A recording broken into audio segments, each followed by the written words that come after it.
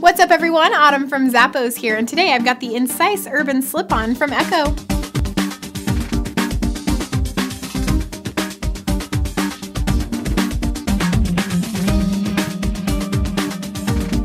These slip-ons are made with a really soft textile upper. It's got a little bit of shimmer in there too, and there's a leather trim for added style.